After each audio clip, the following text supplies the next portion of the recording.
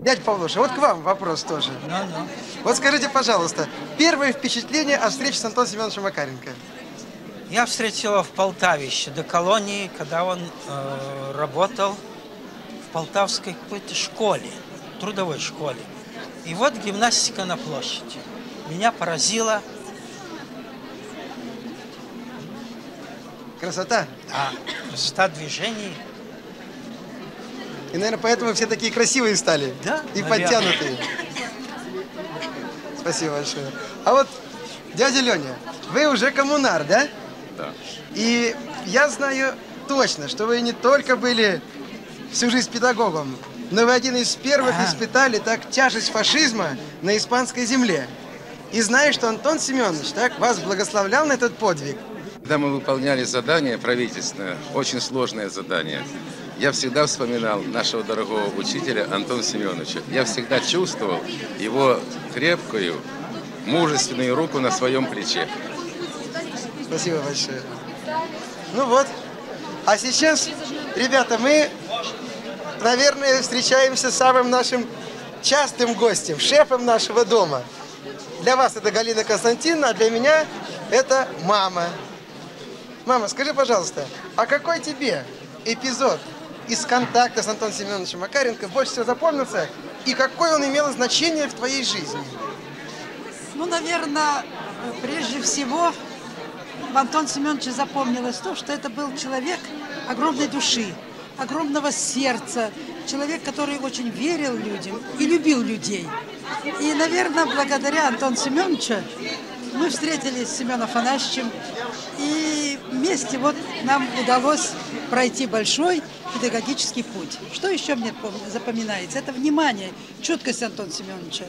В 1934 году у нас случилось большое несчастье. Мы потеряли сына. Э, Так попал там мальчик, который убил нашего сына.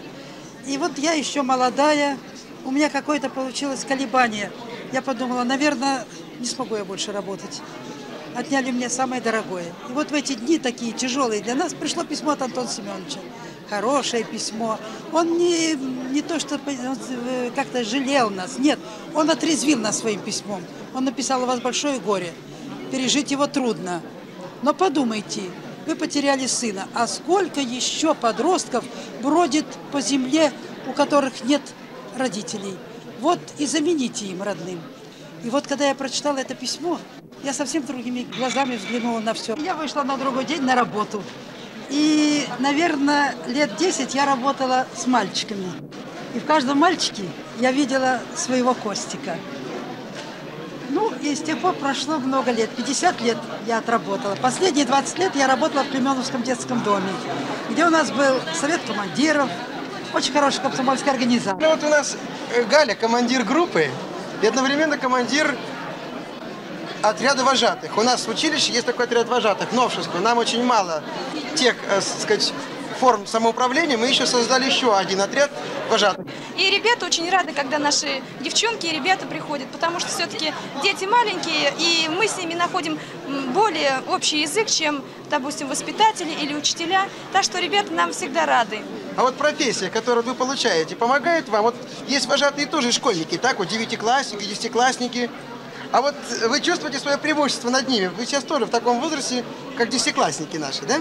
Но то, что ты вот имеешь профессию, это помогает тебе больше контактировать и быть более уважаемой перед ребятами? Конечно, все-таки профессия строителей, по-моему, такая профессия, которую уважают. Потому что мы же приносим радость людям. Вы много слышали об Антоне Семеновиче. Вы что-то на вооружение взяли себе для работы с ребятами? Да, у нас есть свои общественные организации, есть совет командиров, есть комитет комсомола, есть оперативный отряд, есть совет пионер-вожатых.